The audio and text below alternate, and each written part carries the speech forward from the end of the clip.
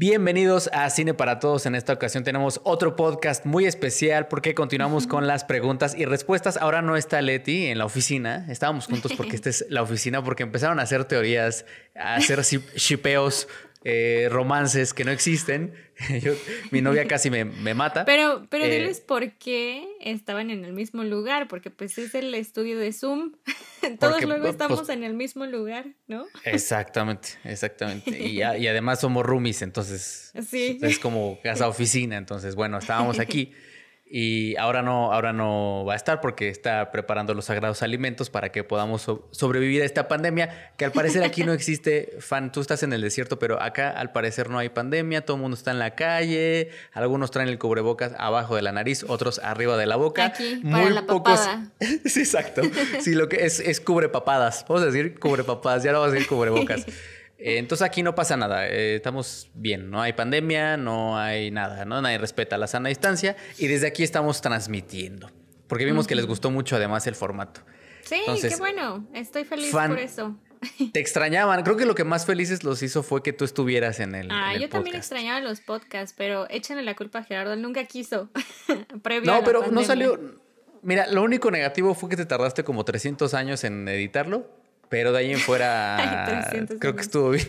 No, sí te echaste como dos semanas. Sí te echaste como. Ay, fue como una semana y media. No, no, no. No, lo terminé. Te voy, a, te voy, a, ser sincera, lo terminé el domingo, pero pues era Día de las Madres, estaba celebrando con la suegra, entonces no podía. Así de suegra, bueno, ya me voy, voy a.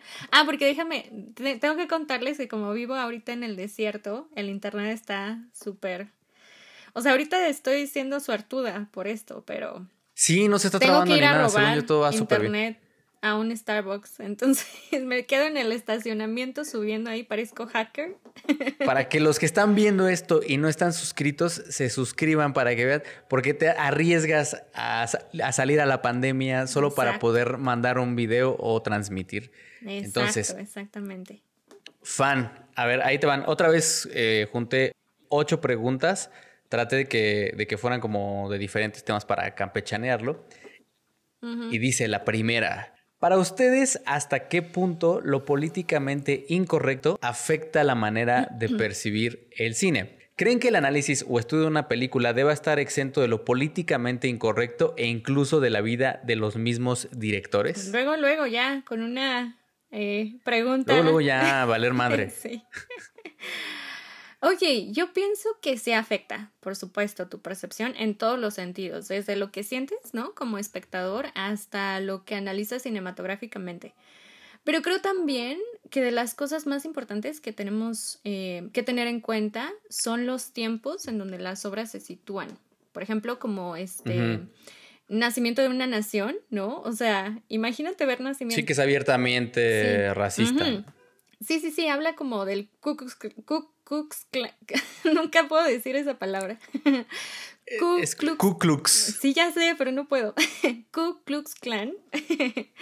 este, en todo su esplendor, ¿no? Y de la supremacía este, blanca y de la reconstrucción de Estados Unidos. Y de verdad pintan a, los, a, la comunidad negra como lo peor, ¿no? Y como unos borrachos, unos eh, que no tienen como camino, ¿no? Sin rumbo. Eh, pero me refiero al tiempo. El tiempo fue muy importante, ¿no? También, en su momento creo que también fue polémica, ¿no? No estoy muy segura, pero según yo fue muy polémica. ¿Tú recuerdas algo así? Recuerdo más una polémica actual, porque justo salió al tema de que Disney estaba tratando de ocultar o de eh, reeditar, digamos, montar películas que tienen temas espinosos y quitar escenas que a lo mejor podrían herir susceptibilidades. Por ejemplo, los cuervos en, hay en, Dumbo, que hacen alusión a los negros de sureños, Nueva Orleans. Entonces, por supuesto que afecta no solo la percepción propia de una película, sino que también afecta ya a la obra misma, porque ya no estamos viendo películas completas, ya ese tipo de películas. Exacto. Se están montando otra vez. Entonces, sí, eh, leí, eh, no, no, recuerdo si fue en Taste of Cinema o en, dónde, en qué página en inglés, que, que había una iniciativa para que se editara el nacimiento de una nación. Entonces, a mí, a mí se me hace incorrecto, utilizando las expresiones, que se, que se estén montando las películas cuando tienen un discurso que, como bien dices, es de su tiempo y es importante que veamos ese discurso de ese tiempo. Y ha afectado de tal forma que actualmente pues está eh, Disney le quiere caer bien a todo mundo. Entonces tienes a la sirenita eh, negra, eh, LGBTQ, este, PQR, y, o sea, es progre, y todo ese tipo de cosas que sí están afectando a las obras y que no se está respetando el origen o la esencia de, en la que estaba basada. Sí, y bueno, con respecto a, a, esta película tan polémica, ¿no? El nacimiento de una nación, ahora la vemos y sí se revuelve el estómago, ¿no? Como de ver como sí, sí te pega, ¿no? Esas imágenes tan, no sé, no, no sé, tan, tan, ah, tan violentas, ¿no? Sí, es, es, es como muy, no quiero decir descarado porque seguro él no lo veía como, como descarado, lo veía como algo natural, pero sí ves las, la secuencia esta de los negros decidiendo eh, con los pies sobre la mesa, que prácticamente los representa, los representa como salvajes. y, ahí es donde dices, ay, está, sí está peligroso este tema, pero al final es, es lo, que, lo que el autor así, lo, así, ve, así los veía. A pesar de todo eso, a pesar de como del contenido tan crudo de la película, es una película importantísima para la historia del cine, ¿no? El montaje y en general todos los elementos que usó Griffith para, pues, para la narrativa fueron el parteaguas para futuras producciones, ¿no? O sea, ¿hasta qué punto afecta tanto? Eh, pero también tenemos que pensar en el momento en donde estuvieron situadas las obras, ¿no? Sí, justo lo del montaje paralelo, ¿no? La escala de plano, todo este desarrollo narrativo que, es, que ya es cinematográfico. Y, también el otro componente de la pregunta era la vida de los mismos directores. Bueno, es que hay que entender la vida de los directores para saber por qué él retrató así, ¿no? Él, él era sureño, era de una familia que creía fervientemente en la, esclavitud, es decir, pues era una persona que, que, tenía esa formación. A lo mejor ahorita nosotros estamos haciendo cosas que creemos que están bien, que en un futuro van a decir, ay, mira, este, Fan era así, o Gerardo era así, o este canal es, es así, y, en esos tiempos eso se veía bien, pero ahora se ve mal. O sea, todo ese tipo de cosas seguramente al final se van a terminar juzgando con el paso de los años, pero es importante. A mí, a mí me pasó, a mí personalmente me, me pasó algo muy interesante que nosotros, si no sé si te acuerdas, fan, yo platicando con Alejandro Melgoza, que es un periodista, estábamos tratando de hacer un, un documental sobre los feminicidios en el Estado de México, en Ecatepec, eh, toda esta cuestión de que está, que está ocurriendo ahí, que básicamente toda la gente trabaja de alguna manera cercano con la delincuencia y tal. Y, y, obviamente yo tenía activado una alerta de feminicidios en, en, Gmail, en mi mail personal, para que me llegaran notas y estar leyendo y ver qué estaba pasando y tal. Y obviamente es aterrador porque te llevan, te llegan siete, uh, sí, así, o sea, la fecha te llegan siete, ocho notas diarias.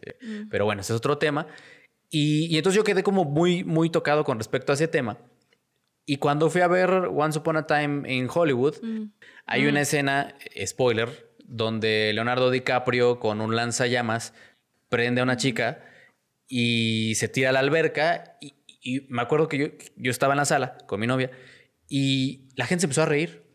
Obviamente, en, en, en, la, en la visión de Tarantino, que es un cineasta que todo el tiempo ha dicho que sí, que la violencia en cine no genera, que eso está comprobado también, violencia fuera de la pantalla, en el mundo real, eh, no, le, no, le, gusta que lo, que lo cuestionen sobre ese tema. Y está bien porque en su contexto el tipo de violencia que ocurre es un chavito que va y plomea a sus amigos en la escuela, pero no es una mujer que está casada con su esposo y un día su esposo le bota la canica y decide prenderla y luego desmembrarla y, y todo el mundo decía que este hombre era un santo y que era muy bueno y que era muy tal. Eso no pasa en su, en su país, entonces no, no lo culpo a él ni lo juzgo. Pero a mí, yo al momento en el que lo estaba viendo, pues te vienen a la mente todas esas fotografías, todas esas imágenes, todas esas notas de todo lo que está pasando aquí. Y para mí fue angustiante, en lugar de, en lugar de reírme, en lugar de, de, congeniar con la visión del director, era como de, ay, cabrón, o sea, es que esto pasa todo, ¿de qué se ríen si esto pasa todos los días aquí? Y no es una, son, son diez. Sí, y no, e incluso, bueno, se me hace, o sea, lo que me platicas, ¿no? Se me hace súper raro porque aunque no tuviéramos ese contexto, ¿no? Aunque no tuviéramos este, ojalá algún día de verdad no tengamos eh, números tan altos en feminicidios, no te ríes de algo así, ¿no? O sea, a mí no me causa gracia ver a una persona. Es como el slasher, es como si te, te rieras con una película slasher, ¿no? O algo así, para mí no tiene sentido, ¿no? Pero bueno, también, eh, ahora sí, si el análisis de una película debe de estar este, exento, ¿no? De lo políticamente correcto, no, no creo. Primero, otra vez, por el momento, ¿no? En el que estamos viviendo, en el que las obras están eh, saliendo. Y porque creo que no podemos entender una obra sin su contexto. Y tampoco podemos hacernos de la vista gorda, ¿no? Con estos temas. Creo que se habla eh, de mucho tema polémico y tampoco creo que podemos separar al autor de la creación. ¿Te acuerdas que en Zoom subimos un video sobre Woody Allen? ¿Y qué pasó, Gerardo? Cuéntanos. No, bueno, o sea, tocar el tema de, Woody Allen es espinoso. Decía un amigo que vivíamos en esta época del neopuritanismo y que era probablemente como la, como la Edad Media, ¿no? En la Edad Media faltaba información porque se quemaban los libros. Ahora estamos sobresaturados de información porque hay un exceso de información. Mucha de esa información es, es falsa. Eh, tampoco me gusta vivir en, tal cual en esta época porque estamos censurando a la gente sin darle chance de expresarse. Entonces, no estoy a favor de la censura del libro de Woody Allen. Creo que el libro tiene que salir, y, él, y él está en su derecho de contar su versión. Pero también, o sea, un poco hablando de, de la vida de los directores y de las películas, pues si entiendes, por ejemplo, eh, ahora que hicimos el análisis de Scorsese, ves Italian American y dices, bueno, aquí está toda su filmografía condensada en un documental con sus papás. A mí, yo no digo, Woody Allen lo hizo, no lo hizo. Al final está esa carta, está otra carta de otro de sus hijos que dice que no pasó. Al final vivieron en un... los niños de esa, que, que, fueron resultado de ese matrimonio, adoptados o naturales, vivieron en un, en un eh, ambiente de mucho estrés, digamos, con, tanto con Mia como con Woody Allen. y, es un, y es un hecho, es un hecho que Woody Allen, tú sabrás mejor porque tú tienes formación en psicología muchísimo más profunda que la mía, pero sí hay una sublimación muy cabrona de las parejas de señores. Sí. De, exactamente, ¿no? Es todas sus películas, o la mayoría de las películas, es un güey de muchos años que se liga a una inocente, eh, güera, torpe, sexy, que, a la que le saca 30 años. Entonces, esas repeticiones, yo otra vez no digo lo hizo o no lo hizo, pero sí a nivel analítico lo ves y dices, bueno, este cuate algo trae, ¿no? Sí. Entonces, la gente se puso muy, muy mal con ese video, se puso muy hostil. Bueno, cada quien, y es respetable, y para eso estamos, para opinar. Y Cada quien tiene una opinión y es muy respetable, siempre y cuando sea argumentada. Sí, exacto. Pero bueno, yo digo, no podemos separar al, al director de su obra, y menos cuando como casos que, que han sonado en México que suenan tras bambalinas, que todavía no hay nada público, pero yo no dudo que pronto salga algo eh, que utilizan el proceso de hacer una película como el casting para conseguir teléfonos, para eh, eh, manosear a las chavas, para insinuárseles, para hacer cosas que no deberían hacer. Entonces, y, luego muchos directores son internacionalmente aclamados. Pero bueno, ese es otro tema, Juan. Ese es otro, tema. Más espinoso todavía. Más espinoso todavía.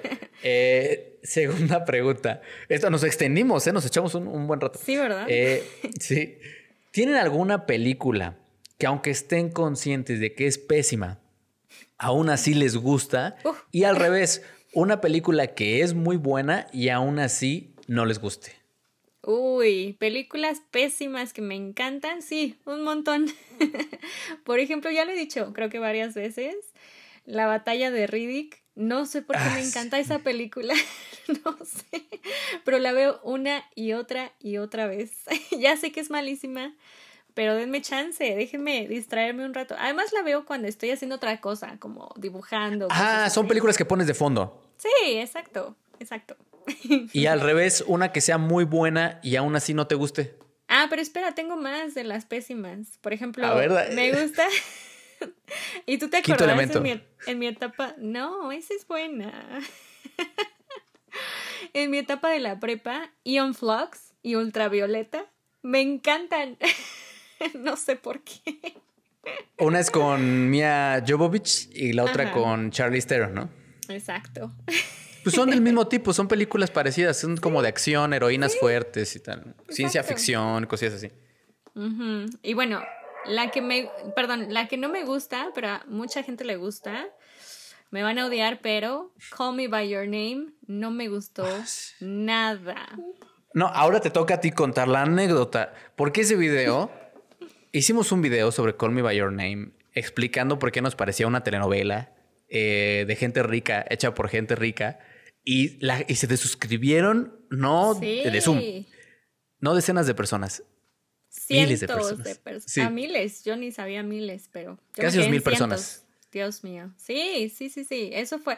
Y decimos, la verdad es que decimos quitar el video al final porque pues sí nos estaba afectando, pero pues de verdad que teníamos argumentos, o sea, no era eso que dijo Gerardo sobre una telenovela de chicos ricos, guapos, este, eso lo dijimos. Y sigo pensando lo mismo, o sea, yo no he vuelto a ver la película, la verdad. Yo sí. Ah, la volviste a ver y lo mismo sí, pensaste. Sí, parecía que estaba viendo la sección de Socialite de la revista Quién. Este, ¿Te acuerdas? Ah, ¿Te acuerdas de la prepa? León Besudo, ¿no? que nos daba mucha risa, que había un señor que se llamaba León Besudo. Ah, no más. que estábamos viendo esa sección de, de Socialite. Eh, pero bueno, eh, ¿tienes más que estén ahí? pensé en otra, o sea, estuve pensando y dije, pues, ¿cuál no me gusta que no le, que le gusta a mucha gente? Pues, esa fue la primera que, que, se me vino a la mente. Pero seguramente hay más, sí, estoy segura. Pero tú, ¿qué, qué Yo, Ah, bueno, primero, em, perdón, primero, ¿cuál es la que te gusta pero a nadie le gusta o es mala? Y pues, eh, al contrario. Hay, una, hay una película que enseño hasta a mis alumnos de guion que se llama Dodgeball. Eh, ah, claro. Con Ben Stiller. es una, es una eh, humor gringuísimo y ah, tal, pero ahí, o sea, me gusta mucho que, el personaje de Ben Stiller que se llama eh, Blanco Buen Hombre, White Goodman. y es un güey turborracista. Tiene una filia con el ejercicio muy cabrona, con, la, con lo superficial y tiene diálogos bien interesantes. Sí, es muy cagada. Entonces, esa película la veo y la veo y la veo y la veo. y este, y fíjate que ahora Gaby Mesa me ha estado escribiendo como varias cosas como para platicar. Tras bambalinas se echó un post de la tercera de Batman, la trilogía de Nolan. ¿Cómo se llama? Es la de Dark Knight, donde está el Bane. Eh, Rises, ¿no? Sí, asciende. El Caballero de la Noche asciende. Esa, esa trilogía eh, no me, no me gusta, pues. En general, en general, el cine de Nolan es muy entretenido, pero creo que sí está puesto en un pedestal que, al, que no al que no pertenece. Y, estaba platicando con ella y me decía, hice un post de eso y la gente se portó bien, no me dio tanto. Porque ella dijo que la tercera película de la trilogía era muy mala y yo estoy completamente de acuerdo. Tal, sí, cual. Yo también. Eh, y siempre, y siempre digo, una película, es que el guion es complejo. No mames, güey. Batman sale de un pozo en chanclas, güey, mugroso y sin barba, y se logra infiltrar a una ciudad sitiada y llega con ropa de marca perfectamente rasurado, ¿no? Y es que no mames, güey. Está llena de Deus Ex Máquina, güey, ¿no? O sea, sobre todo de las tres, esa construís un villanazo que es Bane, que habla horrendo, una decisión sobre la voz asquerosa pero lo construyes y al final, con un giro de tuerca, eh, termina siendo la mala Mario en Cotillar. Entonces, Entonces, digo, bueno, eh, una que sea muy buena, que aún así no me guste, pues la trilogía de, voy a decir la trilogía de Batman de Nolan. La segunda es buena, la segunda es buena, pero... A mí me gusta la segunda. No son películas que, que ansí ver. Sí, sí, sí, sí. Tienes razón. También como que pones para no sentirte tan solito cuando estás haciendo otra cosa, ¿no? Sí, en lo que lavo los trates pongo ahí a, a Ben. Parece Yoda. Sí, sí, sí, fue muy ridículo el, el, personaje. A mí no me gusta, la verdad, esa película. Y no soy fan tampoco como de, de ninguna de, de, las películas de Batman, o sea, ni de las otras dos. Me gusta mucho la de Tim Burton. Esa puede ser un, una pésima película que me gusta mucho. Según yo, son, yo tengo muy buenos recuerdos de, de la que sale este, el pingüino y Gatúbela. Sí, Michelle sí, Yo también tengo los mejores recuerdos de eso, ¿no? Y creo que eso es importante también que esa película, a pesar de que era como también medio cómica, eh, se volvió un ícono, ¿no? Por el diseño de producción, por todo lo que, por todo lo demás que utilizó, ¿no? Creo que, creo que sí es de, de mis favoritas de Batman. ¿Alguna otra que tengas en alguna de las dos categorías? Es que no recuerdo, te digo, eh, de Call Me By Your Name. Bueno, pues es que Avengers, Avengers tampoco no me gusta nada, ni la 1, ni la 2, ni la... No sé cuántas van. No, bueno, van como Pero a mucha gente le gustan. Sí, sí. ya sé. Este, yo me acuerdo ah, ahorita bueno, de una... ya sé. Perdón. A ver, ah, vas, vas, vas. me gusta, no sé por qué, pero me encanta. me van a odiar también. Ragnarok me gustó mucho, no sé por qué me hizo ah, reír. De Taika. Ajá, de Taika. A mí, ahorita me acordé de una que es malísima y aún así me gusta. Eh, cuidado, bueno, en, español se llama Cuidado, bebé suelto, pero no sé cómo se llama en inglés. una película que pasan. No, es una película que pasan en tela abierta desde que yo tenía como 6, 7 años y es de un bebé que lo están persiguiendo tres ladrones muy, muy ¿Y torpes. ¿Y que habla? ¿Que escuchamos su voz? No, el bebé no habla. ¿Cómo se llama? Bueno, no habla, pero escuchamos su voz como. Esa es la de Mira quién habla, ¿no? Ah, mira quién habla, claro. Ah. no, esta, esta de cuidado bebé suelto. Y, y entonces el niño tiene un libro eh, ilustrado que retrata como un viaje, ¿no? Y entonces hay una visita al zoológico, hay una visita a una construcción y tal. Y la película es estos tres güeyes queriéndose robar al bebé mientras el bebé gateando recorre toda la ciudad. Y entonces ves todas las peripecias que tienen estos tres para podérselo robar. Como tipo Home Alone, pero en la ciudad. Ándale, y con un bebé de, que no, que una, de un año. no la he visto, tengo que verla. Pero te gusta. Esa te sí, es muy buena. Cuidado, bebé suelto. Cuidado, bebé suelto. Gran, gran película. A ver, esta está buena, esta está buena. ¿Cuál consideran que es el mejor director de los últimos 30 años? Uy, no sé, pero fíjate que estaba pensando porque me mandó ayer Gerardo las preguntas y pensé como de verdad inmediatamente en Pedro Almodóvar. No sé por qué, pero fue como por inercia, ¿no? Creo que de todo el, digamos, conglomerado de películas de blockbusters y de películas eh, hechas en Hollywood, etcétera, él es muy diferente en su realización, desde su realización, desde la planeación o en todo, desde los temas también, y creo que es muy personal y él no ha perdido, creo que nada de eso en toda su carrera. Él es muy personal con su cine. Y además filma y filma y filma y filma y, produce y filma. Sí, ya sé, ya sé. Híjole, yo, yo considero este tipo de preguntas como preguntas trampa porque en realidad no tienen una salida. O sea, el que digas, porque la, película, la pregunta estaba hecha en dos partes. Era, ¿cuál mm. consideran que es el mejor director de los últimos 30 años? podría ser Paul Thomas Anderson. Y sí, claro, podría ser Paul Thomas Quería Anderson. dirigir la pregunta. Sí, sí, sí, sí, La respuesta, ¿no? Exacto. Claro que podría ser PT, pero yo creo que, que es, es, imposible decir quién es el mejor en 30 años. Es imposible decir quién es el mejor director de la historia.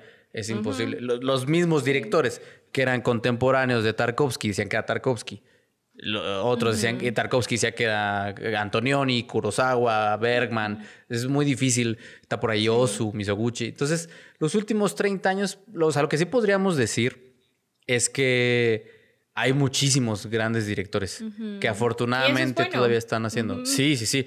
O sea, ahorita está activo todavía Scorsese, está, está activo Coppola. Hay, algo que me entusiasma mucho de Coppola, que él decía en una conferencia en Tribeca que la, la, próxima revolución del cine era que podías ver las películas en vivo.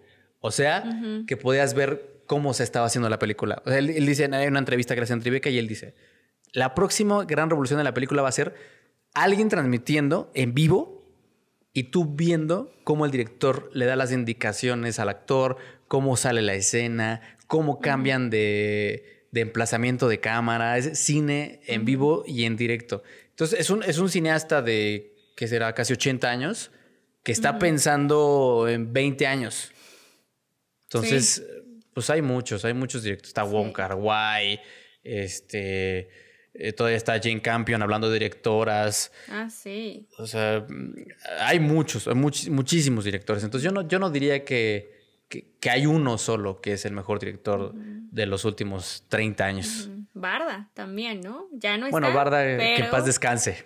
Pero de los últimos 30 años todavía queda su, mucho de su cine, ¿no? Sí, mucho buen cine. Ahora que hice el video que escribió Denise, vi muchos de sus cortometrajes y es como, ay, cabrón. El ojo que tenía. A lo mejor, narrativamente hablando, no seguía estas estructuras tradicionales o apostaba por otro tipo de estructuras, pero visualmente se notaba que era fotógrafa.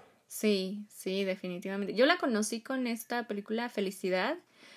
¿Qué golpe me dio en, en, el estómago? Es una película bellísima y tristísima a la vez, pero bueno, ya, ese es, ese es otro tema. Sí, y, impresionista, impresionista, ¿no, fan? Sí, eh, sí, está hermoso. Todo, está hermoso, en verdad. A, nivel visual, un fenómeno. Eh, a ver, ¿qué recomiendan? para alguien que no tiene carrera principal en cine, pero que quiere aprender por sí solo? Hmm. Pues desde mi experiencia, yo creo que es, es, o sea, tienes que estudiar si no tienes una carrera en cine. No, es que tampoco hay que sentir que se nos viene el mundo eh, abajo porque no tenemos una carrera en cine y es lo que queremos hacer. Afortunadamente, eh, podemos encontrar muchísimos recursos ahora, ¿no? Ahora más que nunca en Internet hay canales de cine que te enseñan, están plataformas como uh, Udemy que te, que te dan un curso a lo mejor de guion, a lo mejor está en otro idioma, ¿no? En inglés, que es como lo más común, pero bueno, pues te pones a estudiar. Es eso, ponerte a estudiar afuera y comercial, pues tenemos cursos en Zoom, ¿no? Tenemos cursos en Zoom. Sí, cursos en Zoom. sí, y, sí, y, y, sí. O sea, algo, esta, esta pregunta la, seleccioné porque tú estudiaste pedagogía y, algo que he notado eh, es que, lo recuerdo muy bien, en, un ambulante, una vez nosotros íbamos a presentar un corto en la, en la estela digital, en la estela de luz, en el Centro de Cultura Digital, y nos invitaron para que viéramos una función doble de ambulante y había dos documentales, uno hecho por un cuate que era egresada, una chava que era egresada del CCC, y otro hecho por una, un antropólogo, sociólogo y antropólogo. O sea, era infinitamente mejor el del sociólogo, el del antropólogo, que el de la cineasta. Eh, ¿Qué pasa? Que, ya, ya, tú me dirás, fan, pero cuando estudias otra licenciatura o tienes otra experiencia de vida que no es forzosamente la, la de estar en una escuela de cine, a veces hay más que contar que lo que tiene que contar un alumno de una escuela de cine. Eh, ahora que estuve viendo de Smart Films, que estamos haciendo el video de cine hecho con celulares, ganó uno de los del concurso, lo ganó un panadero. En Colombia ganó un campesino. ¿Por qué? Pues porque te están, te están dando un acceso a otras realidades y, lo están haciendo a partir de conocimientos que luego un cineasta no tiene. Y luego el cineasta está demasiado concentrado en la técnica, en la estética, en que si el montaje, en que si la forma y no hay fondo. Entonces sí me he dado cuenta que de pronto algunas obras de gente que estudió cine brillan por la imagen, brillan por lo técnico, pero no hay nada en realidad que uno pudiera decir, ahí, ahí, ahí estoy encontrando una historia genuina, estoy encontrando algo con, como dices de, de Barda, con la felicidad, estoy encontrando algo que, que me remueva las entrañas. O, entonces, en el caso este del documental que vi del sociólogo era, eh, se aventó a como estas casas del Infonavit y a ver cómo los niños se relacionaban en este tipo de casas que, que, luego están en obras negras, que luego están en, en, conjuntos habitacionales que no tienen luz. Entonces, la respuesta a por qué hizo eso fue, Hice un trabajo de investigación y la mejor forma que encontré de presentarlo fue en imagen. Y se vuelve interesante porque es un anhelo que él tenía de encontrarse con esta gente, de mostrarte un mundo que está ahí y no nada más filmar por filmar o filmar porque ya terminé mi carrera y tengo que hacer mi ópera prima. O, ajá, o filmar porque tengo que hacer mi ficción 2, o filmar porque tengo que cumplir con, la, con la tarea, o filmar porque supuestamente de esto tengo que vivir. Es tengo una necesidad emocional, pasional e intelectual y la única forma que tengo de mostrarlo es a partir del cine. Entonces, si estás estudiando historia, psicología, pedagogía, ingeniería, yo no sé por qué los mejores alumnos que he tenido son güeyes que no vienen de comunicación, güeyes que no vienen de diseño, güeyes que no, o sea, gente que viene de filosofía, gente que viene de letras, gente que viene de algo ajeno. Porque esa es otra también Estudiar cine es como un puntito al ego de, ah, mira, yo estoy estudiando cine. Y, yo se los digo porque yo estudié, yo estuve en una escuela de cine y conocí y a mis compañeros amigos los quiero, pero, pero así era. Y entonces a veces falta ese otro componente. Entonces yo estoy seguro que para Bonita, el haber estudiado pedagogía a ti te ayudó un buen. Sí, definitivamente. ¿Sabes qué? Creo que es lo que pasa con la escuela, a lo mejor como este tipo y también con, con la escuela como de arte pues sí, lo que tenga que ver con las artes es que es como cuando te enseñan, ¿no? De bebé a dibujar y no tienes que salir de la línea, ¿no? Esa es una regla máxima, no te puedes salir de la línea. Y creo que más bien, si no vienes de una carrera que es cine o principalmente algo que tenga que ver con el cine, velo como una ventaja, más bien, ¿no? Y mejor aprende de tu carrera o de lo que hayas estudiado para mejor contar una historia.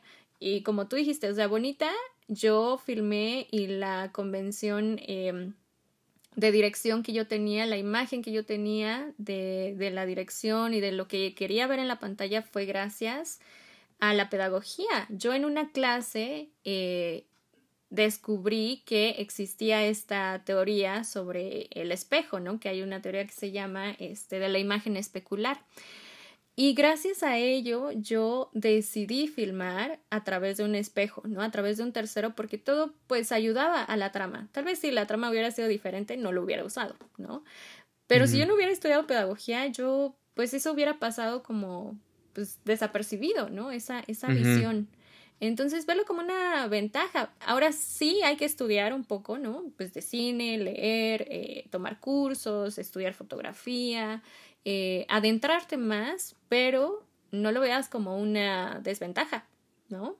Sí, exacto, al contrario, como, como que trae todos esos, esos conocimientos, no solo a nivel académico, también los conocimientos de vida que tienes y todas las emociones que has sentido y tal, tráelos y a partir de ahí construye. Al final, todo el mundo te dice lo mismo aprender a usar los fierros, aprender cómo funciona un micrófono, aprender cómo funciona una cámara, esto es, rápido, es, una cosa que te tardas, o sea, donde yo estuve nos lo enseñaron en un medio semestre y después ya nos pusimos a, inventarnos cosas, ¿no? Pero eh, aprender a usar los fierros es, es relativamente sencillo, cualquiera lo puede hacer. Y ahora que estamos haciendo este video de los celulares, todo, el mundo tiene un celular en la bolsa, la mayoría de la gente tiene un celular en la bolsa y ahí, ahí hay una posibilidad, ahí hay una oportunidad, entonces no la, no la desechen, pues. Eh, a ver, Fan, ¿qué grandes experiencias han tenido en el cine? ¿Han tenido en el cine como en una sala de cine o como? Supongo que va por ahí, supongo que va por ahí. Ah, ok, bueno, en una sala de cine fui a ver un día Animales Nocturnos. Y fue una experiencia muy interesante porque yo la verdad fui a la función de las 10 de la noche, yo estaba muy cansada después de haber trabajado ese día.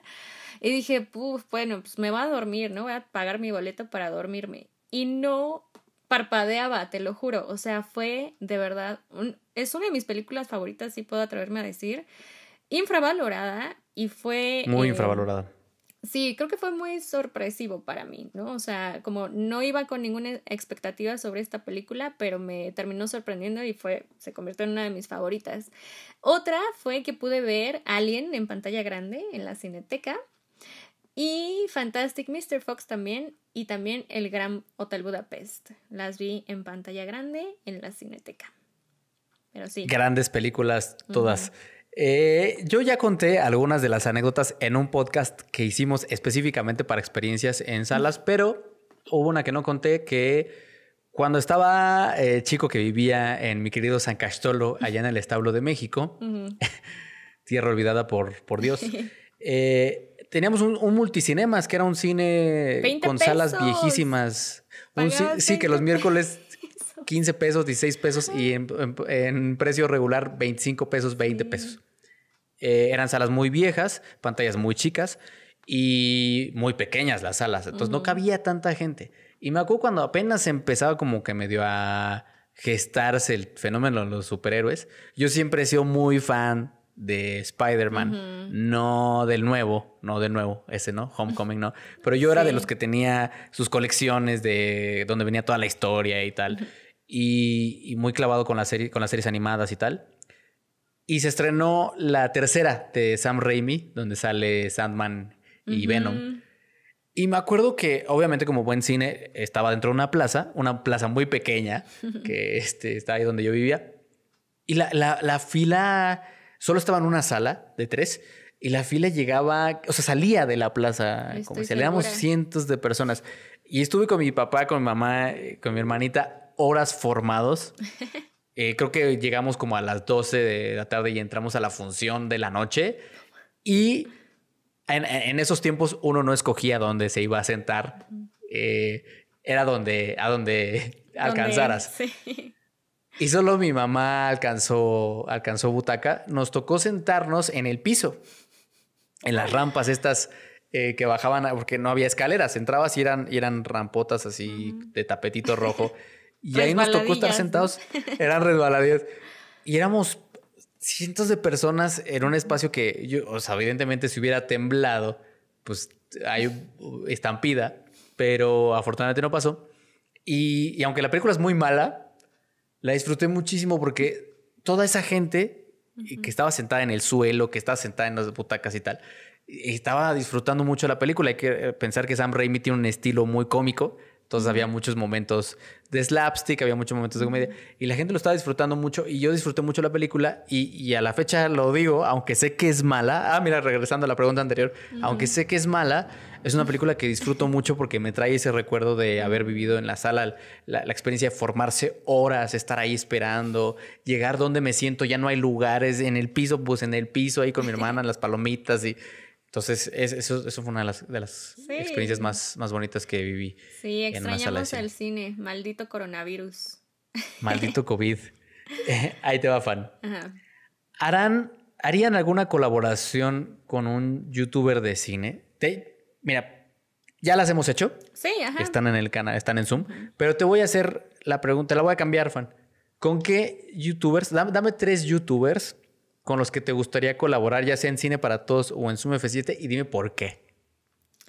Ah, bueno, yo creo que con Nico, ¿no? Por esto que habíamos, bueno, que también es como, ay, ¿cómo decirlo? Como un ejemplo tal vez para nosotros para llegar al, al, mismo número de suscriptores.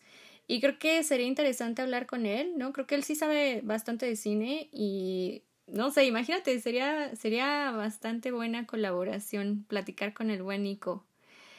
Ah, con Gaby Mesa, porque me gusta como su frescura. o sea, yo sé que tal vez somos canales, canales muy diferentes y sí, eh, su canal pues es como más, cubre más eh, cosas como por ejemplo más masivas, etcétera.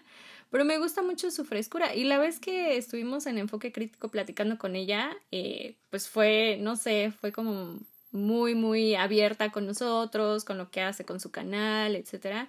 Entonces creo que sería buena mancuerna. Y pues en tercer lugar, o bueno, no, no importa el lugar, pero la tercera persona, no sé, ¿con quién sería? Mm, pues con Fer, con Fer Solórzano también, una colaboración más extensa, no, no de enfoque crítico, pero más extensa con Fer, sería, sería interesante, creo.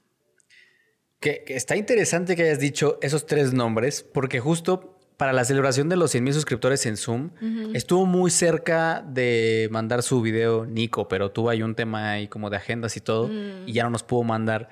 Pero ya, ya, ya estoy en pláticas con Nico. Eso es, eso es una, es un, es un teaser. Estoy en pláticas con Nico para que llegue a, Zoom. Y también estuvo a nada de mandar otra persona a la que admiro mucho, porque aparte me hace, me hace reír mucho, a Jorge, de Te lo resumo así nomás. Él también estuvo ah. muy cerca de mandar su, su clip, ah. pero igual ya no, ya no nos logramos poner de acuerdo, teníamos chicos que hacer, eh, se, atravesó todo este desmadre y bueno, hubo cambios y todo, pero él tampoco mandó. Y con Fer, con Gaby obviamente yo, yo creo que pronto va a haber algo eh, aquí, y con Fer Solórzano, yo le pedí que hiciéramos un, una como adaptación a ensayo de Misterios de la Sala Oscura, de algunos mm. ensayos de, de su libro. Entonces eh, ahí estamos, ahí estamos en el estilo y afloje, a ver cómo podemos hacer eso, eh, qué ensayo puede ser, cómo lo podemos hacer para que quede algo bonito, pero eh, teaser, sí, yo creo que sí van a estar los tres. Perfecto, se va a cumplir mi deseo. ¿Sabes, ¿Sabes a quién, a quién estuve también a punto de, decirle? Que te escribí y me dijiste, no, estás loco, güey. A Christoph, a ah. Christoph también. No, yo, no, yo te dije como tú quieras, pero no sé qué pueda pasar. Este, a él platiqué con, los amigos de Cinerts, y, porque ellos, ellos lo iban a tener en uno de sus programas, y le dijo, oigan, güey, es, que cómo, cómo lo contactaron, eh, tienen su número. Y Víctor amablemente me dijo, no, güey, pues tiene, eh, Christoph tiene por alguna razón sus mensajes en Twitter abiertos. Y entonces le iba a escribir, ah. pero sí, dije, pues de una vez le iba a escribir y no, ya no los tiene Supongo que ah. recibe muchos mensajes de su comunidad, entonces pues ya, ya no los tiene. Pero creo que sería, creo que sería entretenido, eh, divertido tener algo con él. Yo sé que de pronto parecemos canales antagónicos, pero la neta es que pues no, no tenemos nada con nadie, no, no nos peleamos, no, al contrario, ¿no? Este, nos gusta colaborar con, con los creadores. Y, y sí, sí, me llama la atención hacer, hacer algo con él, pero pues no se pudo. Entonces no lo pude contactar y pues no, no hemos tenido nada todavía. Bueno, pero sí, creo que sí, pensándolo bien, sí sería interesante platicar. Sí, estaría bueno. Porque además también tenemos eh, como esta impresión, perdón, de solamente verlo a través de sus videos. Entonces no lo conocemos. Por ejemplo, a Gaby ya la conocemos, a Fer ya, lo, ya la conocemos, a Nico no, pero eh, sabemos que también su canal va como por otros, por otras partes a veces, ¿no? O empezó como por otros, otros, por otros lados. Eh, pero sí, estaría, estaría interesante con, con todos ellos. Y decirles eso, eh, en algunos casos, por ejemplo, Fer, admiradísima Fer, así como la ven en su canal, así es en, en, en persona, es una extraordinaria persona. Y Gaby, Gaby cambia mucho, Gaby cambia mucho. Eh, con cámara, fuera de cámara, pero es extraordinaria. O sea, sabe un chingo de cine, sabe un chingo de cine. Entonces, eh, uno se sorprende cuando conoce a la gente ya fuera de la pantalla. Sí, exacto.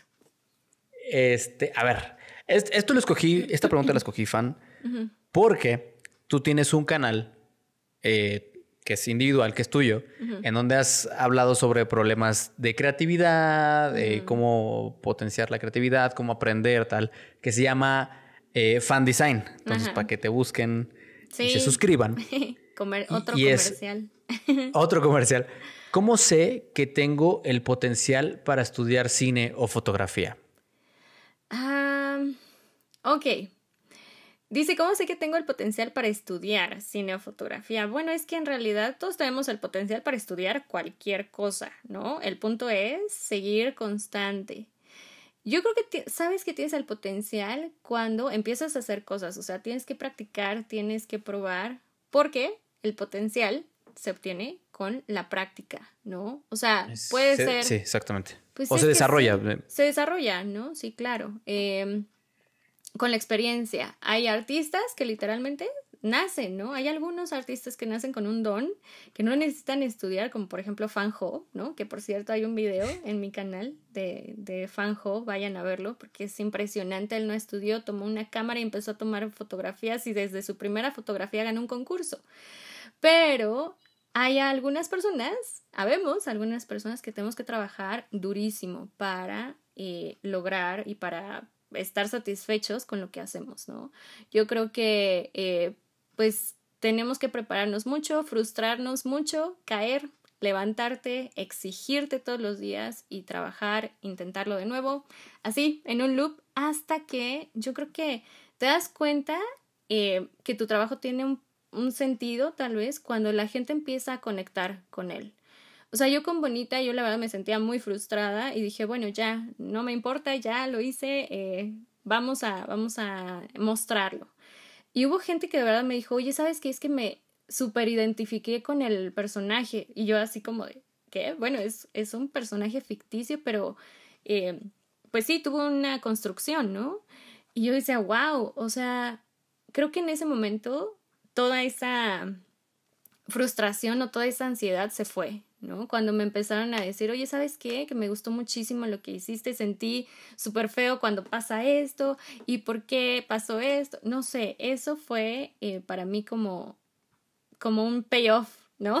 o sea, me pagó toda esa frustración, toda esa eh, exigencia que yo tenía en mi cabeza, a veces siempre está en la cabeza, ¿no? Eh, pero bueno, creo que es eso, trabajar muy duro y probar, porque si no lo pruebas, pues no vas a saberlo, ¿no? Sí, completamente de acuerdo. Yo, la verdad, no tengo nada que agregar. También creo que todo el mundo tiene el potencial y la única forma de saberlo es tomar una cámara, en este caso, y ponerte a, hacer cosas.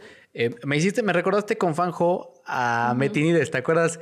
Metinides nos platicaba cuando lo fuimos a entrevistar, claro. que nos quedamos ahí casi todo el día. Empezó a los nueve años, su papá le regaló una cámara y se puso a tomar fotos. Y Metinides es, no conozco otro, fotógrafo de nota roja de museo. Sí, sí, exacto, de museo. Eh, eso, tomen la cámara, agarren la pluma, pónganse a escribir, pónganse a fotografiar, pónganse a pintar. ¿Cómo sabes que tienes el potencial? Hazlo y ya. Es lo único. Hazlo. Sí, sí, sí. Tienes que hacerlo. Y, mostrar también tu trabajo, ¿no? A otras personas. Sí, eh, y, no te. Evidentemente, como nos decían a nosotros en la escuela de cine, los primeros hijos son muy feos. Eso nos pasa a todos. sí. Este, los primeros trabajos nos quedan muy mal con la experiencia y con la, con la práctica. No te desanimes si alguien te dice, oye, está muy feo tu, tu trabajo, toma las palabras eh, y con eso transforma y con eso haz, más cosas. Última pregunta, Fan. Ok. Eh, también, también la escogí por, por bonita y porque sé que tienes muchos proyectos y porque pronto no sé por qué dejaste de subir videos a Fan Design. Necesito que subas más videos a Fan Design. por el internet, de verdad, no es otra razón. te pasas, te pasas de veras.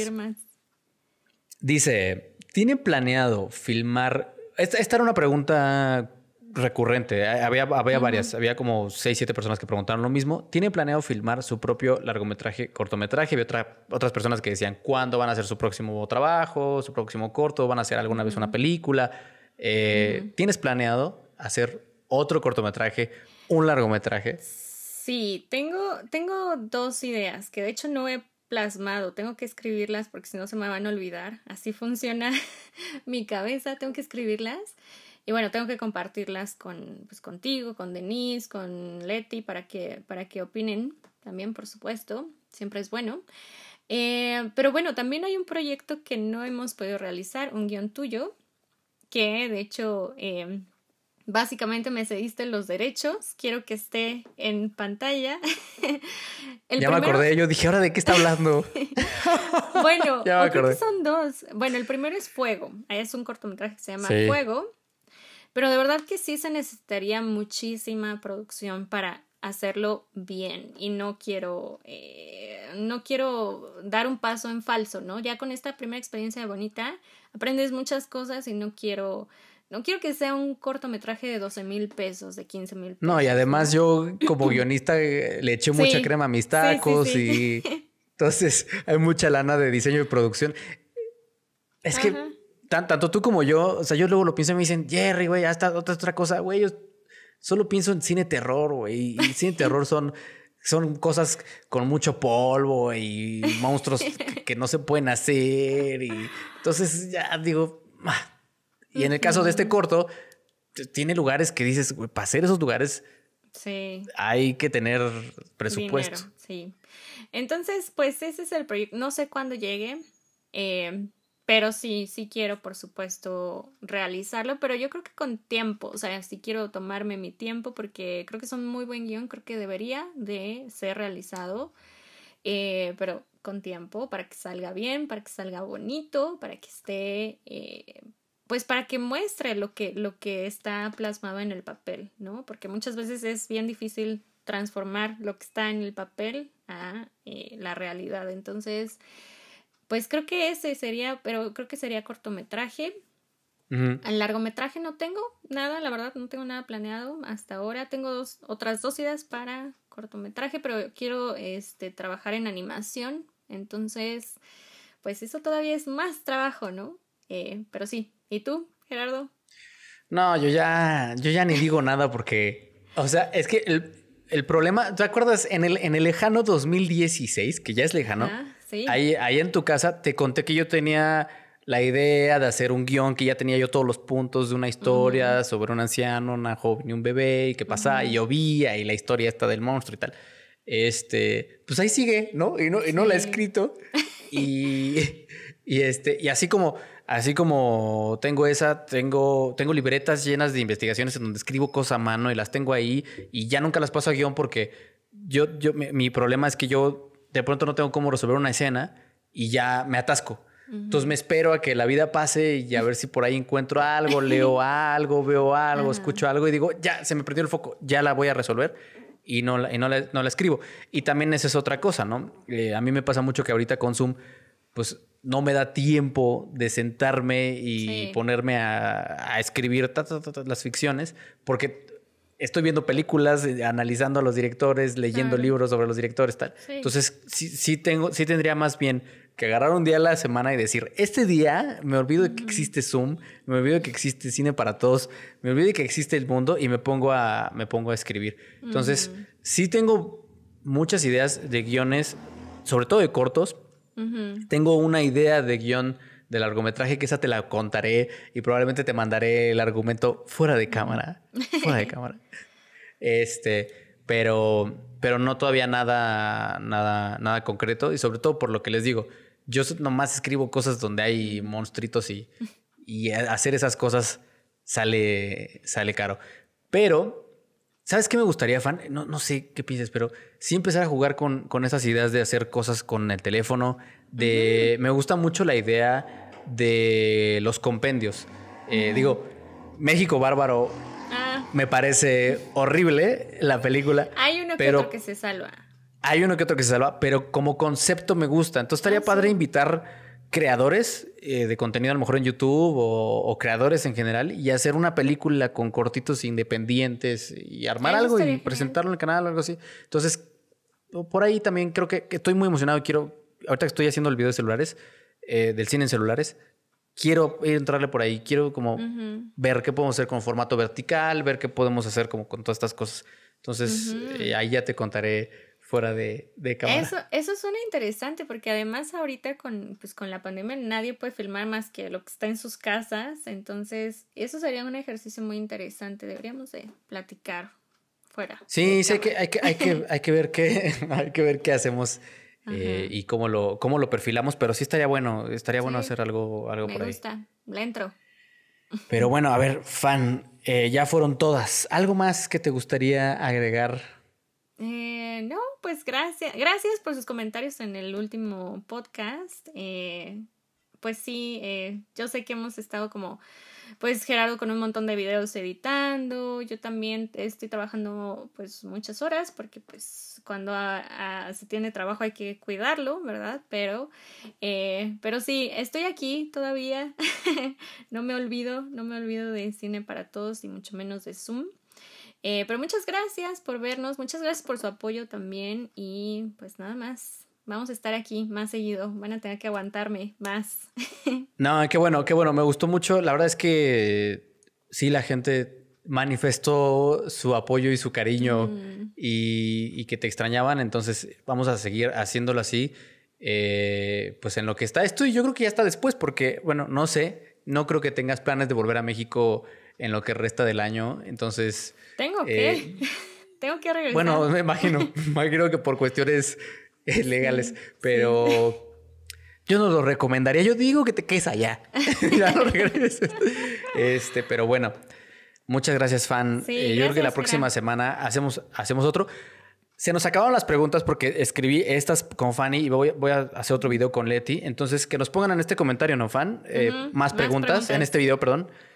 Pónganos en los comentarios más preguntas para la siguiente semana hacer otro, otro video de preguntas y respuestas hacia manera de podcast o pónganos temas de algo que les gustaría que platicáramos. Muchas gracias por llegar hasta acá. No sé cuánto va de podcast, pero ya va un buen rato. Muchas gracias. Fan, gracias. Gracias, Graham. Y nos vemos hasta la próxima. Cuídense mucho. chao, chao.